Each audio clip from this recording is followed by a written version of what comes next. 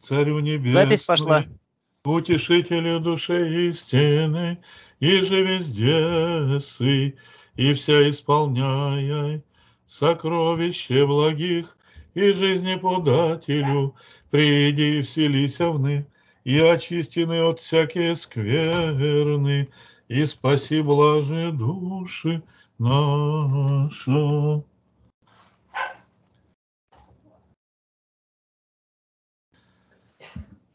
Господь милосердный, слава Тебе!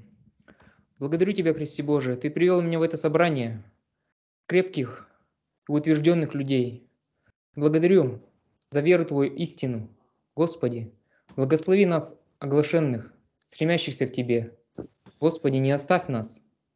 Положи в уста и положи на сердце поручителям нашим все, что нужно к нашему спасению, на пользу душе нашей, Господи. Тебе славу высылаем, Отцу и Сыну и Святому Духу, ныне и всегда и во веки веков. Аминь. Аминь. Аминь. Аминь. Ну вот мы сейчас проходим Евангелие от Марка, и там мы сразу проходим, начинаем с Иоанна Крестителя, естественно. Ну, то есть и не касаемся Господа Рождества Иисуса Христа. Но вот мы так подумали, что надо начинать с самого начала, конечно, Евангелие проходить, не Ветхий Завет. Но сейчас вы поймете, что Ветхого Завета будет у нас предостаточно с вами. И будем проходить мы в этом Ветхом Завете все, что надо для того, чтобы нам ураз, уразуметь, как Господь наш Иисус Христос, Христос дошел до э, дней проповеди людям о спасении. Вот он 30 лет жил среди людей, и он видел, как люди умирают во грехах, а он, а он не выходил на проповедь. Мы не видим, чтобы он кого-то хватал за руку и говорил, я вижу у тебя на сердце, что ты верующий, э, ну, человек, ты скоро умрешь, тебе нужно спастись, для этого нужно прийти к Отцу там, и исполнить там веру, заповеди и так далее. Он этого не занимался этим как бы, почему не занялся? Ну, почему, что, людей не любит, спасать не хотел? Нам Господь сказал, так надлежит нам исполнить всякую правду. Господь ко всем относится ровно, Он хочет, чтобы все спаслись и в разум истины при, пришли. И вот, как все, почему Он был такой, э, как до, дошел Господь до, до э, дней проповеди, мы начинаем сейчас через темы о Рождестве Господа Иисуса Христа как все это было, как к этому подходило человечество, Господь, как к этому подводил человечество. Вот брат составил небольшой конспект по пророчествам из Ветхого, конечно, Завета. И мы сейчас начинаем. Дело все в том, что это необычные занятия. Мы будем тут немножко отходить и в экскурс истории, будем смотреть там и Википедию будем смотреть, и э, Библию, ну, тут, чтобы по побольше осветить нам всю эту тему. И, может быть, даже до того, как мы еще будем говорить о проповеди Господа нашего Иисуса Христа, как Он пришел к ней, мы уже будем все знать. Почему, как и, и, и когда это случилось. Давай, брат, начинаем с тобой. Открывай, как ты открывал мне.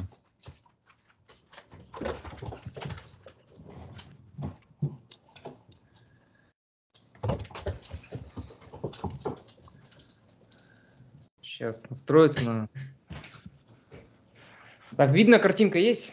Да. Слава Христу. Ну что, заново тогда. Пророчество о рождении Иисуса Христа. Еще в первых главах книги «Бытие» говорится о семени женщины, которая победит змея. Считается, что в книге «Бытие» в 3 главе 15 стихе «И вражду положу между тобою и между женою, и между семенем твоим, и между семени ее. Оно будет поражать тебя в голову, а ты будешь жалить его в пету.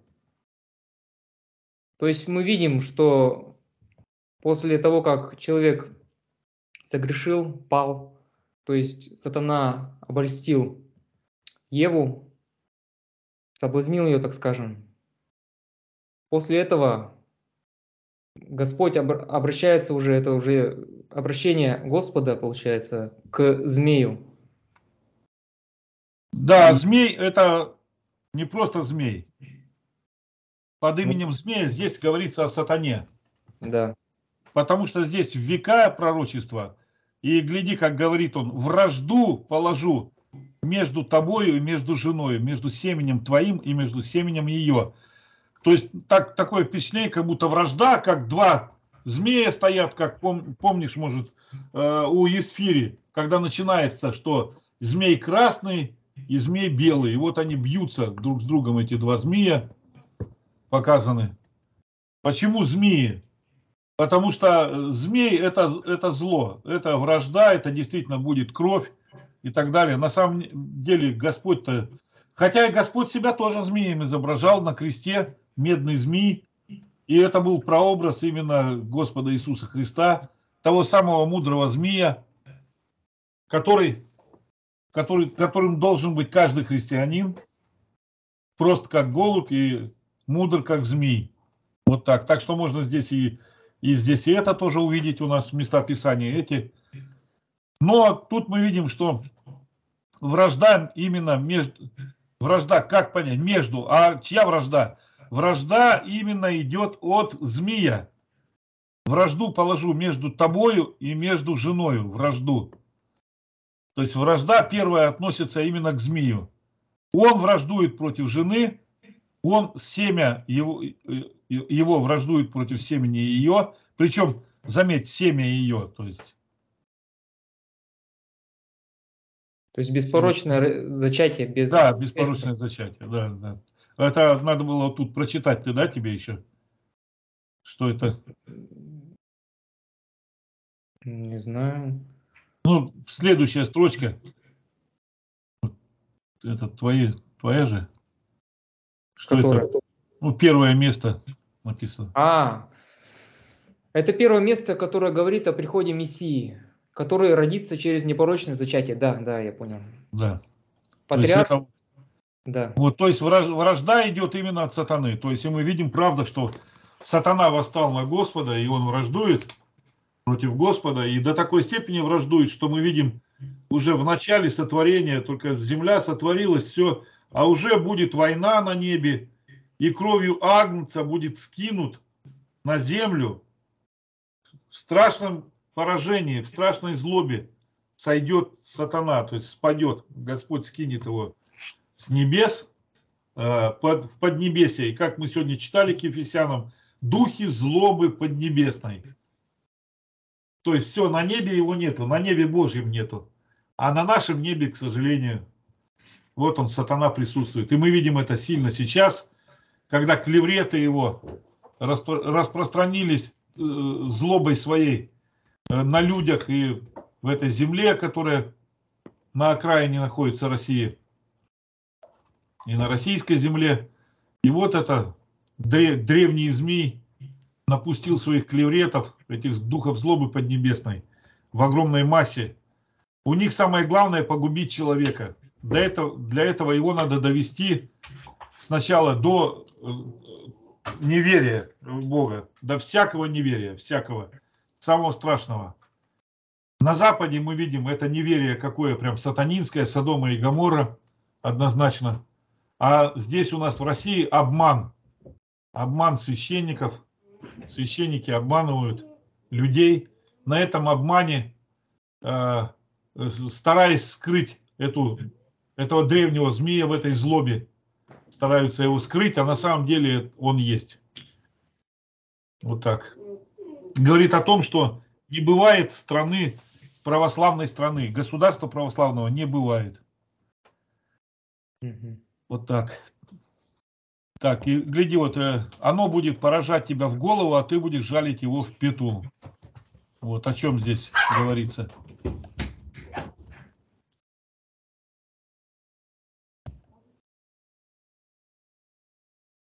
Тебя кого? Это, ты давай не молчи.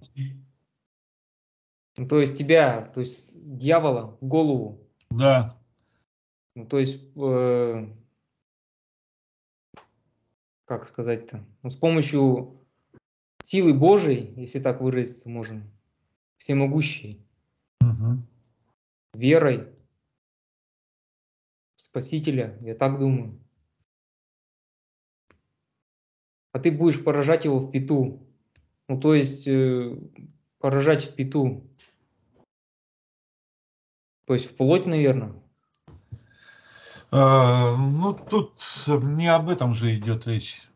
Не о, тут не о понятии плотинном говорится, не о плотском говорится здесь. Поражать в голову. Как сатану можно в голову поразить?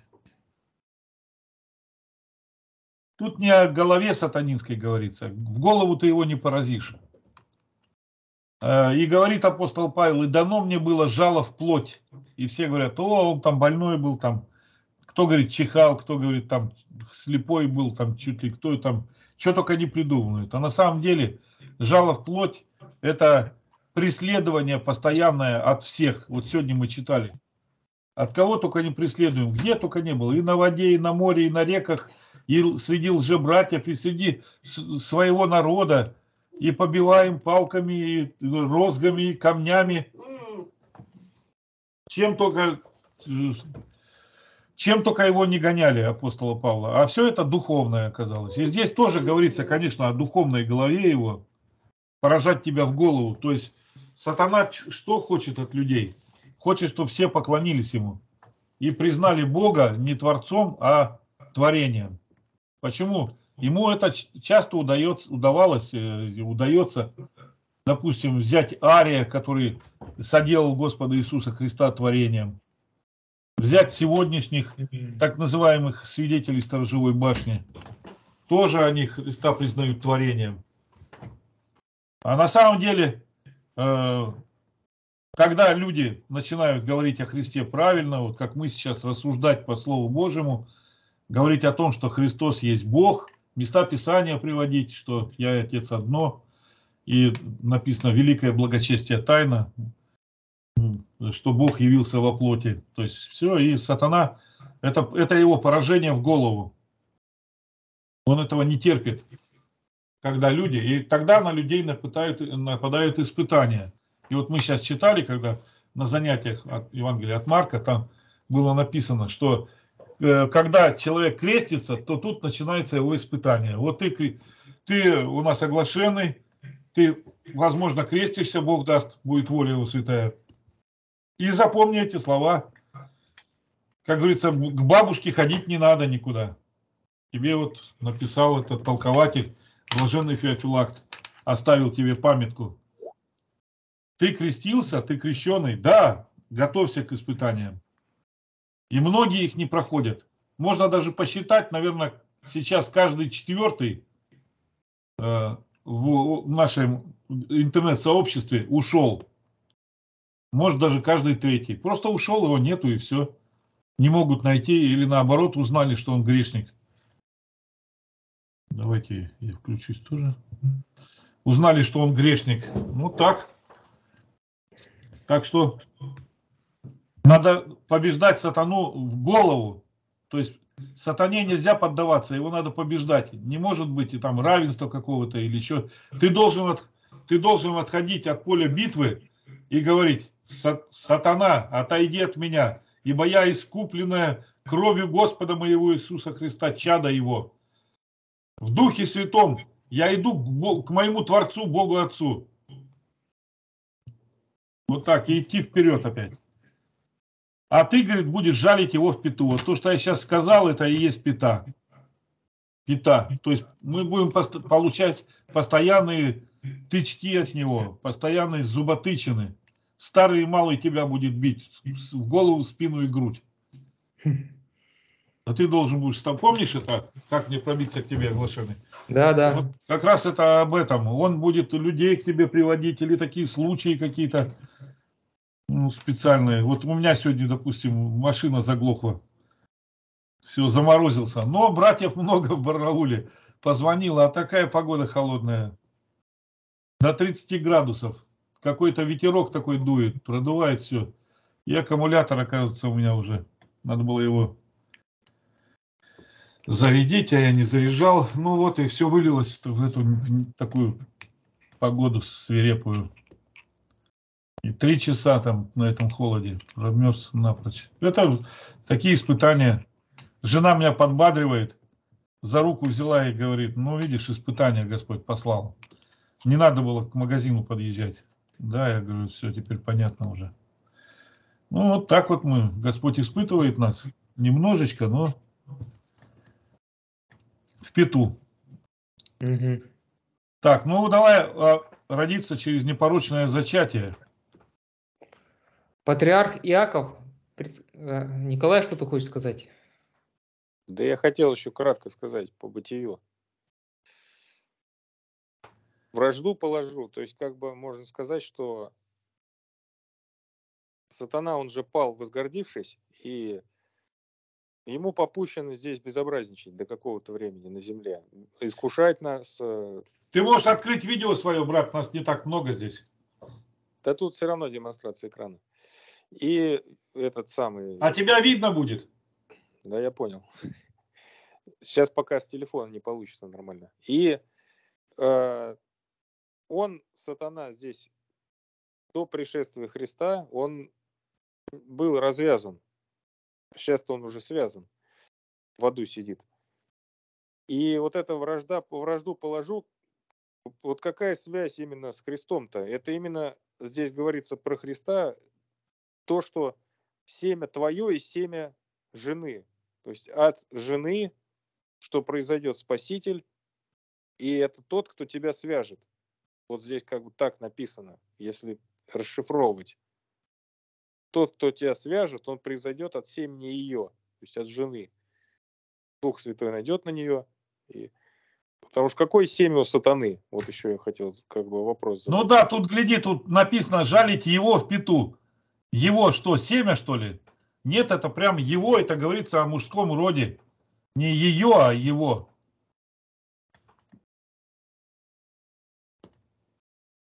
Ну да, а еще почему тут семя названо? Какое семя у сатаны? Вот он плевело же сеет, надо тоже это понимать. Он же бесов-то не рождает. Вот как спали с ангелы с неба, с ним вместе, которые обольстились тоже, что они могут без Бога там все делать и так далее. А их количество-то оно не увеличивается. А... И не уменьшается. И не уменьшается. А какое семя у него? Он сеет плевелы. Что за плевелы? Вот это еще вкратце хотя бы, брат, расскажи. Ну да, тут надо про людей еще рассказать, конечно. Люди-то постоянно рождаются. И те люди, которые, которые, которых сатана прельщает через э, через своих клевретов, вот, бесов, они э, становятся семенем, да, ну, те самые иудеи, о которых в 8 главе Евангелия Иоанна, 44, 41 по 44 стих Господь говорит, что Отец ваш, вы служите Отцу вашему, похотениями вашими. Вот как раз об этом он говорит. Да. То есть неверующие, ну, бывают прям и верующие, это семя сатаны, а бывают и неверующие люди, тоже семя сатаны. Ну, а семя, э, семя э, вот этой жены, это, конечно, первое семя, это Господь Иисус Христос, который поразит сатану в конечном итоге, а э, семя можно назвать и те, кто придут за Христом, будут идти к Богу Отцу в Духе Святом. Тоже, да, это великая, как говорится, э, кто же это сказал сейчас, что между Богом и сатаной идет война, а поле битвы – сердце человека. Достоевский. Достоевский сказал, да, совершенно верно. Ну и вот можно стать семенем сатаны, если ты не принял Христа – это как раз ты выбираешь уже сам здесь, человек своей волей свободный. Не то, что ты там родился изначально в семени сатаны, в племени в его, скажем так, да, и все, ты уже не можешь стать семенем жены. Нет, это твой выбор свободный. А у многих людей у них такое, да вот, как же так? Я же, вот, все, я семя сатаны, видишь, мне это ничего не интересно, то, что вы здесь разбираете. А вот колдовство мне интересно, там, бабки помогают эти, гадалки все правильно говорят, вот и у меня тоже получается, значит, я семя сатаны, значит, все, это уже предопределенно за меня. Но этого нету ничего такого. Это ты сам выбираешь. Где ты будешь. Но, брат, хорошо, что ты тут углубился и так далее, но мы конкретно сейчас скажем, что именно женщина это Пресвятая, Пресвятая Богородица, семя ее Господь наш Иисус Христос, а семя твое, то есть змея, это конкретно сатана. То есть сатана. Ну и понятно, тут клевреты его, все люди и так далее. Это говорится именно о сатане и ж... семени жены Иисусе Христе. То есть потому что по большому счету эта война идет, конечно, на небесах за нас с вами. Ну все у меня. Патриарх Иаков предсказал, что Спаситель придет тогда, когда скипетр отойдет от Иуды. Бытие, 49 глава, 10 стих. Не отойдет скипетр от Иуды, и законодатель от чресла его, доколе не придет примиритель, и ему покорность народов. Не отойдет скипетр от Иуды, ну то есть э, и законодатель от его. Ну, мы говорим о Рождестве, братья, поэтому места Писания брат выбирал так, чтобы это касалось э, Рождества Господа нашего Иисуса Христа и все, что относится к нашему спасению. И тут поэтому такие сначала Бытие 3.15 и теперь Бытие 49.10, то есть когда это все произойдет, то есть да, семя, тут видите, о семени идет разговор. А теперь говорится о том времени, даже говорится о времени, то есть когда должен прийти э, э искупитель наш. Он тут назван примирителем с большой буквы уже. Когда скипетр от Иуды и законодатель от его, то есть по мужской линии прервется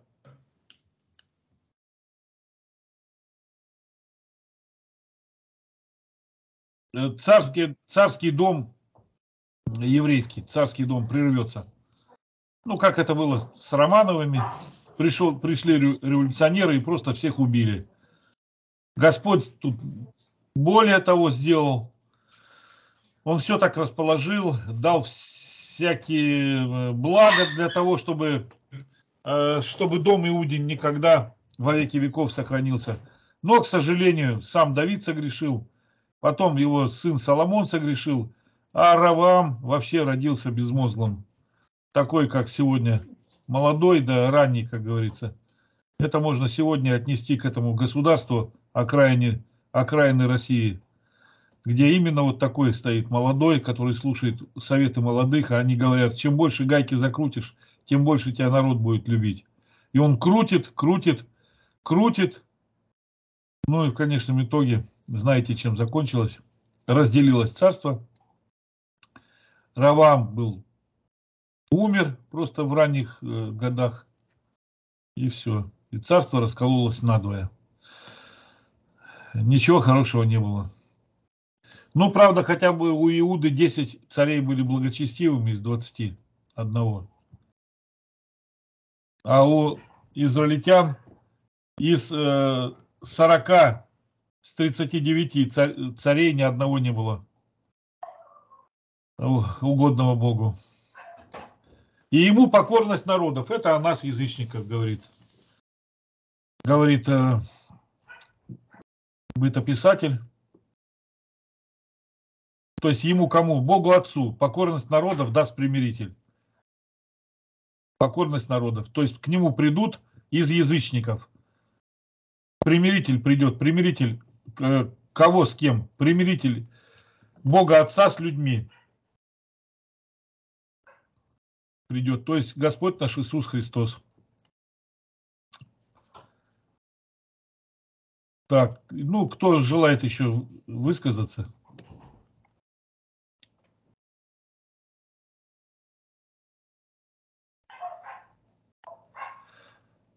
Но если нет, то мы говорим здесь об Ироде Великом.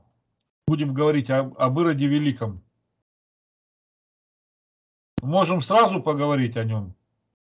Можем потом прийти.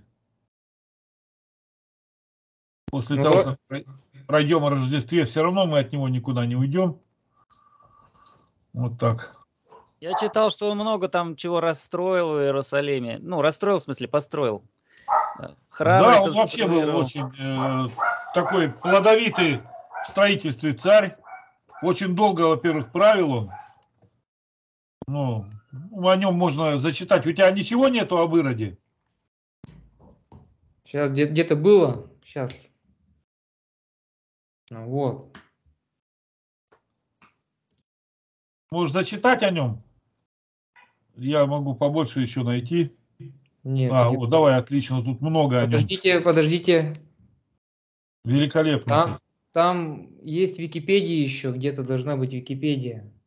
Давайте, давай. Вот, давай, отлично. Хорошо. Давайте об Ироде поговорим. Нету, нету Википедии. Давайте тогда, что есть. А, нету Википедии у тебя? Ну, ну надо, ну, в принципе, можно так открыть. Вот он. То, что ты открыл, лучше Википедии даже обычно. Ну, не знаю. Ну, посмотрим. Вот Ирод Великий. Это тут латинский. Ты больше сделай. Вот так, да, отлично. Вот, смотрите на него. Читай о нем. Кто такой? Ирод Великий. В русском языке Ирод от традиционной средне... среднегреческой передачи. Речи. Передача речи такая. Около 74 Родился около 74-73 годов до, наш, до Рождества Христова. Наша эра не называй. Угу. Умер, получается, четвертый... В четвертом веке по Рождеству Христову. Вот так, спаси Христос. По другим данным, первый год от Рождества. Ну, там есть такое, что на три года как бы там какая-то не разница. На три года. Ну, считается, что ошибка в четыре года, и получается так, что должно быть э, с его кончиной и связано как бы Рождество э, это, Христа, то есть он в один год там, когда гнал Господа, он умер, но потом сказали, что нет, он там пожил еще. И тогда вот так пошло, пошло у нас. Только не в четвертом веке умер, а в четвертом году по Рождестве Христовом. Точно. Да, в четвертом году, конечно. Оговорился просто. Да. Идумиянин, сын Антипатра, римского прокуратора Иудеи. Царь Иудеи. С 40 -го года до, до Рождества Христова по четвертый год по Рождеству Христову основатель Идум, Идумейской династии Иродиадов. Его описывали, описывали как сумасшедшего, убившего свою семью и множество раввинов, злого гения иудейской нации, готового на любые преступления в угоду своим неограниченным амбициям и величайшего строительства еврейской истории. Его имя стало нарицательным для обозначения злого и жестокого человека.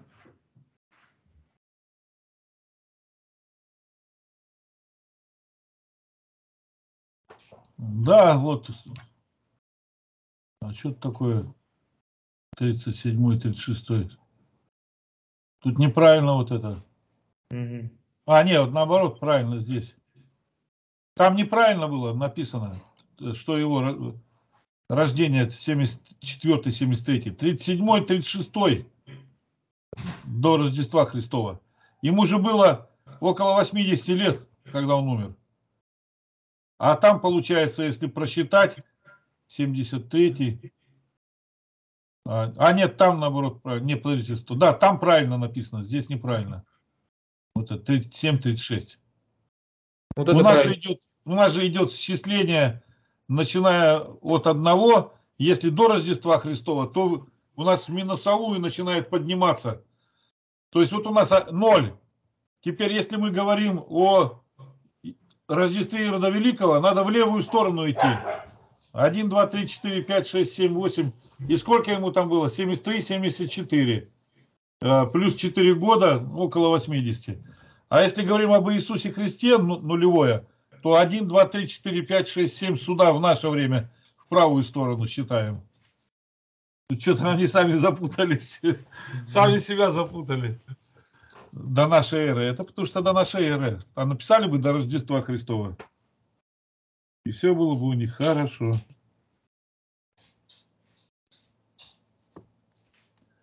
Ну что, вот супруги тут, дети, навалом прямо.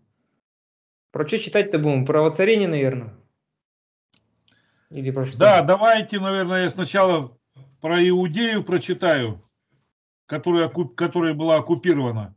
Потому что он встал именно во главе уже оккупированной Иудеи. Вот как все произошло это все. А Когда Иудея стала римской провинцией. Она была образована в шестом году на месте Иудейского царства. В шестом году по Рождеству Христову. И просуществовала до восстания Бар-Кохбы в ты- в 135 году. Потом переименована в Сирию Палестинскую. Вот так.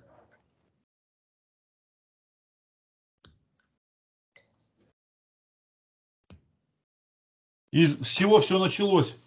Римская империя оказала евреям помощь в борьбе с империей селевкидов.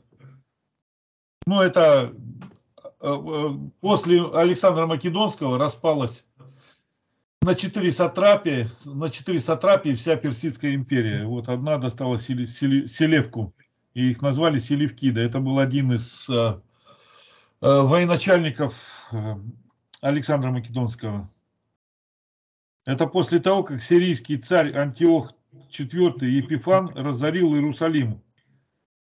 И тогда борьба евреев усилилась за независимость свою. В 63 году до Рождества Христова, то есть через 10 лет, как родился Ирод Великий, римские войска под командованием Помпея Великого окончательно сокрушили Понт, ну то есть на Черном море захватили греческие все, и захватили также Иудейское царство и Сирию.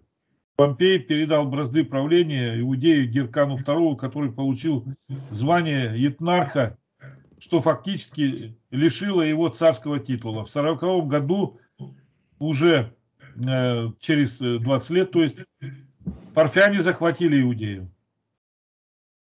Первосвященник был Анти- Антигон II или Хасмоней. В это время Ирод добрался до Рима и смог убедить Триумвират сделать его царем Иудеи. Видите, какими э, такими путями э, лукавыми шел Ирод к тому, чтобы стать царем Иудеи. На несчастье, то есть в мутной воде половить рыбку, как Майдан, допустим, там что-то люди хотели, ну, но чего мы знаем, чего власти хотели, а как ее взять, кто будет, никто не понимал еще, слишком все было зыбко. А тот уже начал подлазить к сильным мира сего. И мы знаем, кто там лез. Яценюк, лез там были такие э, Порошенко, ну и в конечном итоге Порошенко поставили.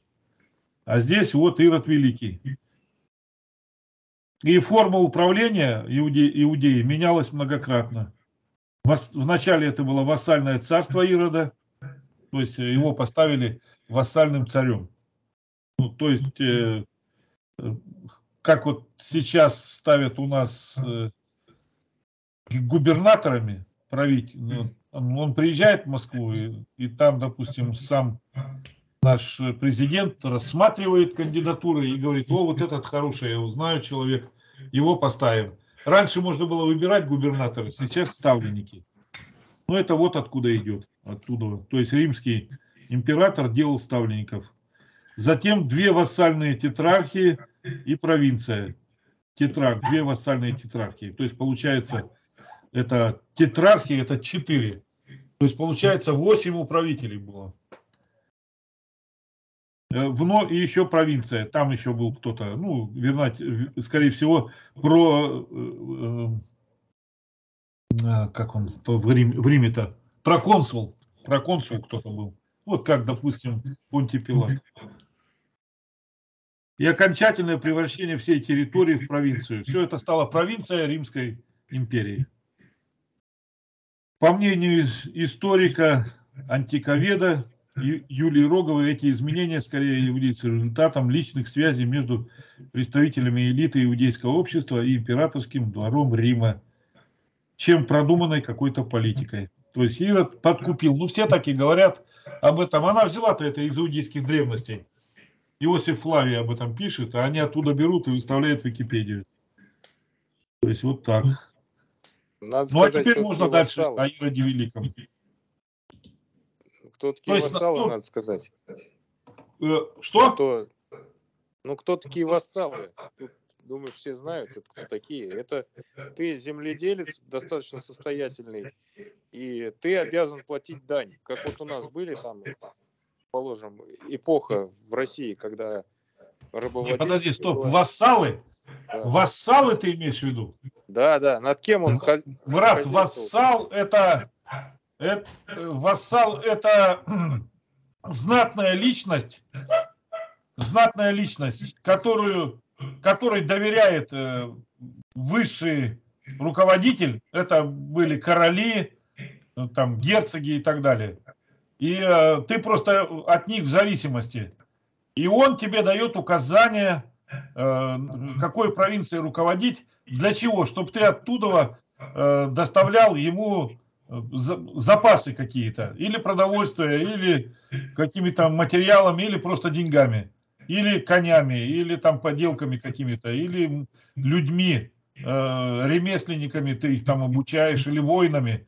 То есть вот это люди были вассалы. Вассалы, допустим, французского короля были герцоги герцоги, бароны там и так далее. Это вот слово вассал. А если ты хочешь о плебеях говорить, то да, плебеи это в Римской республике были плебеи и всадники. Вот. Всадники это были богатые люди, а плебеи это плебос, это были люди, которые были от крестьян именно от этого. Но это про Рим мы не разговариваем сейчас. Да, да, я к тому, что вассал это над кем Ирод там руководил. Вот были у него такие вассалы, которые ему э, вынуждены были, обязаны. А, это отдавать. князья иудейские, вассалы это князья иудейские, такие как Бенгу, Бенгуры, вот Иуда Бенгур. Это один из князей иудейских. Ну, их там было сколько там, с десяток, может, семи, может, больше немного. Это вассалы, да. Они руководили там провинциями, какими-то областями, городками. Они там следили, у них была своя армия, ну не армия, там дружины, которые, конечно же, подчинялись Ироду Великому. А войска Ирода Великого были полностью предоставлены Римской империи. Почему? Потому что это была им провинция Римской империи. Провинция все равно.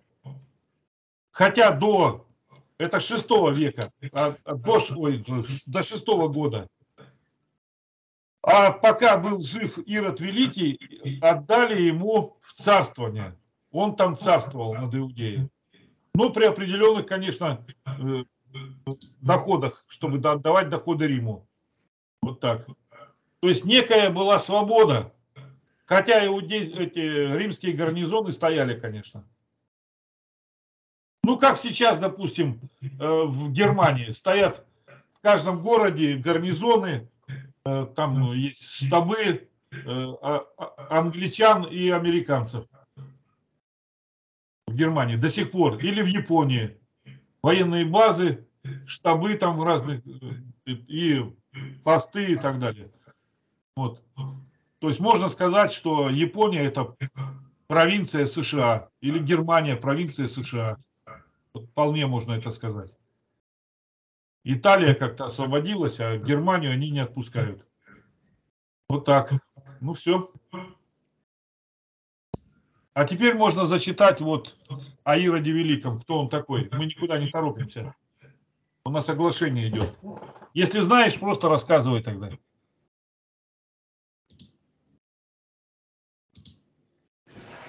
Нет, про что будем здесь или, или здесь почитаем? Вот здесь, здесь читай поменьше, чтобы было. Ирод Великий, царь иудейский, был сын, так это то же самое. Ну, ну ладно. А, брат, подожди, ты где? Ирод Великий, Матфея, 2 глава, 1 стих. Давай Когда я же- открою. Матфея, вторая глава. Когда же Иисус родился в Вифлееме Иудейском, в дни царя Ирода, пришли в Иерусалим волхвы с востока. Вот так, то есть в Вифлееме Иудейском в дни царя Ирода. Иисус родился. Вот нам подтверждение главное, когда родился Иисус. Все, теперь дальше. Царь Иудейский был сын Антипатра и родоначальником других одноименных ему царей, упоминаемы- упоминаемых в Новом Завете. Он управлял Иудеей, тогда римской провинцией, в год Рождества Господня в Вифлееме Иудейском. Впрочем, хотя Ирод и носил ти- титул царя, он был подчинен римскому императору. Он отличался своей дикой свирепостью, целый ряд жестокостей, жестокостей ознаменовал его 34-летнее царствование. Он убил даже собственную, собственную жену и двух сыновей. 33 год царствования Ирода, как мы уже заметили выше. В Вифлееме родился Спас мира, Господь Иисус Христос. Узнав о, о новорожденном царе Иудейском и опасаясь, чтобы он не отнял со временем у него царство, Ирод избил 14 тысяч вифлеемских младенцев, думая в числе их погубить и Бога-младенца Иисуса. Впрочем, вскоре после того, как он сам погиб ужасной смертью в Иерихоне, именно, именно был съеден живой червями. Перед смертью, Чем-то на Сталина похож. ну или на Ивана Грозного, наверное, наверное, больше Да нет, Хотя- ни на кого он не похож, подождите. Ну, похож, конечно, ну, антихрист такой же. Но... тут, ну,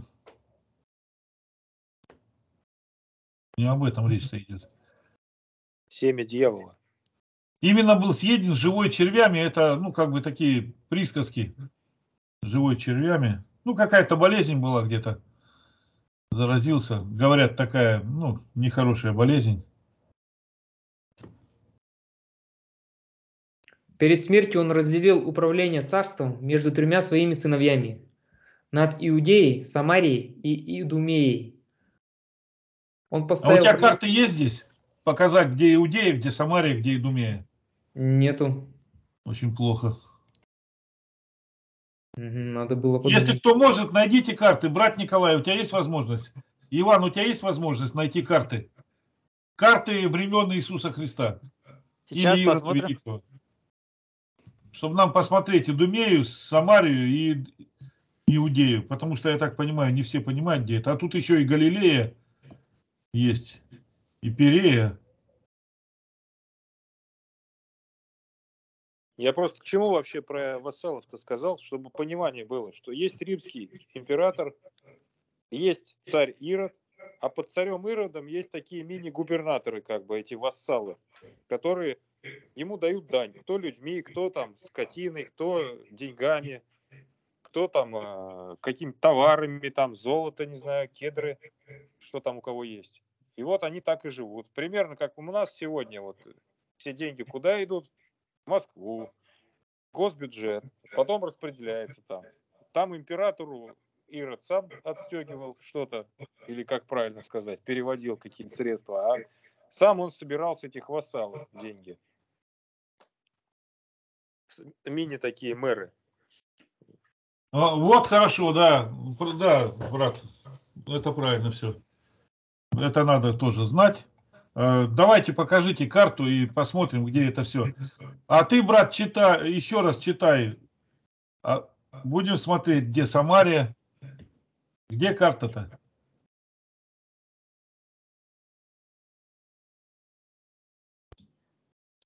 А вот, вот, видно? Вот хорошо. Вот, глядите. А ты обводи. Давай там что первое? Иду- Иду- Иудея? На Да. И- Иудеи.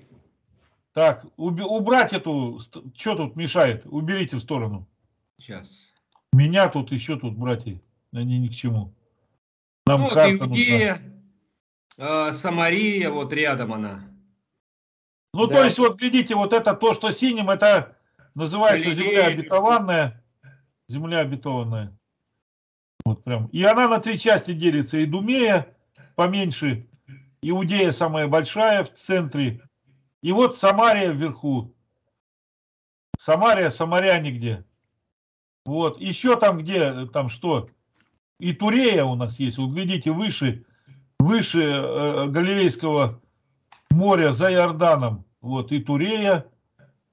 Потом что еще? Перея напротив э, Иудеи и Самарии, и даже Идумеи. Перея напротив. Она от Мертвого моря идет, с середины Мертвого моря и до Самарии самой.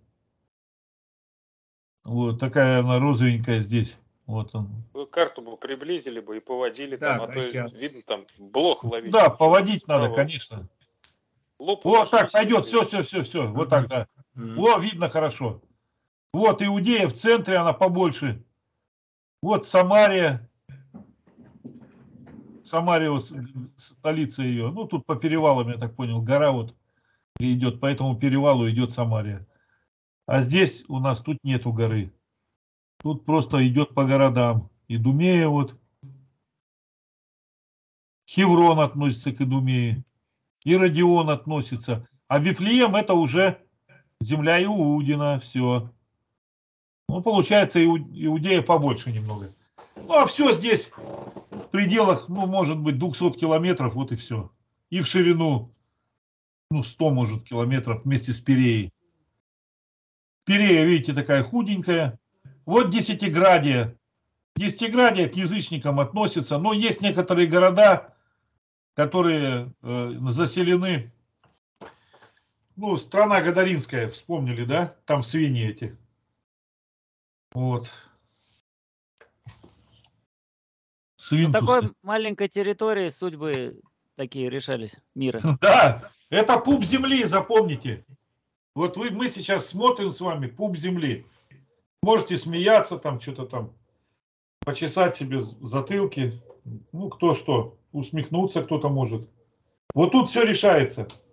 Хочешь знать, когда придут последние времена, смотри вот на этот центр земли.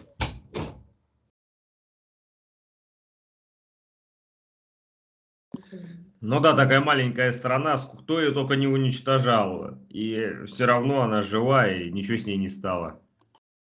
А Бог? А как же Бог? Совершенно правильно. И глядите, вот тут, вот, вот тут властвует Ирод, но, конечно, под э, защитой римского, римского права. Иначе он бы не продержался. Евреи бы подняли восстание, уж они хорошо знали, что Идумей не может быть царем. Но он подмаслил где надо, подбил, и нам Иосиф Флавий в иудейских а, в этой иуде- иудейская война говорит о том, что Ирод всех подкупил. И даже как подкупал. То есть об этом можно даже почитать, как он был молодой, он был очень сильный. И он с императором, с его сыном был связан очень близко. И там с Августом. И он там, ну, скакал на конях, там в колесницах участвовал, побеждал и просто покорил их сердца. Он знал хорошо этот э, латинский язык, в юриспруденции подкованный был. Он молодой очень был, такой резвый парнишка. Э, Об этом пишет Иосиф Флавий там. И в конечном итоге э, он, он недолго там пребывал, с год где-то, и ему дали эту провинцию в царствование. Он бы и никогда не добился. То есть как это могло произойти? Почему э, евреи не обращали внимания на это пророчество, о котором сейчас прочитали мы? Да потому что быть этого не могло, чтобы иудеи приняли Думиянина царем своим. Но никто не знал, что придут э, войска Соединенных Штатов Америки, ой, то есть Рима, что одно и то же сейчас можно сказать. И просто возьмут и скуют такой тиски железные, все три вот этих э, формирования Самарию, Иудею и Думею, которые ненавидели друг друга. Самаряне это бывшие язычники, которые приняли э, веру в Бога истинного по пятикнижью. Иудеи это истинные почитатели истинного Бога, а Идумеи это сыны Савряне, сыны Исава, э, или э, и еще, как его называли, Едома, который враждовал со своим братом Яковом, там очень сильно чуть не убил его и так далее. Они понимали, что это вражда между родственниками, родственник,